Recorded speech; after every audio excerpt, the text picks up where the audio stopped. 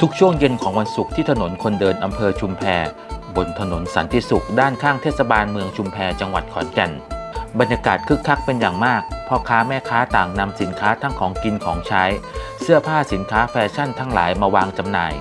นอกจากนี้ยังได้จัดสรรพื้นที่ให้เยาวชนได้แสดงออก วันที่เราได้ไปเดินเที่ยวพบกับธนพลอำเท้า อายุ 13 ปี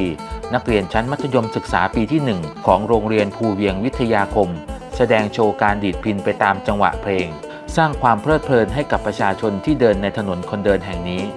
หลายคนก็ให้เงินตามกำลัง บางคนอดใจไม่ไหวก็ออกลีลาฟ้อนลำตามจังหวะเสียงดนตรี ก่อนจะมอบเงินใส่กล่องที่อยู่ด้านหน้า น้องธนพลเล่าว่า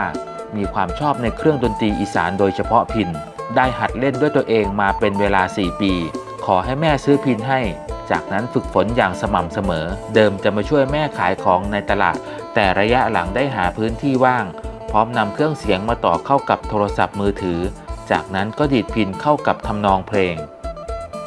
ในแต่ละครั้งจะมีรายได้ประมาณ 500-700 บาท ฉลี่ยแล้วเดือนหนึ่งจะมีรายได้ประมาณ 2,000 บาท เงินที่ได้มาก็จะนำให้แม่ เพื่อใช้จ่ายในชีวิตประจำวัน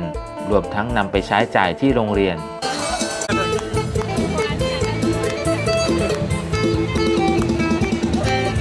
แยงแยงแยงไม่อยู่ชอบกินอะเรื่องดนตรีอื่นไม่ชอบ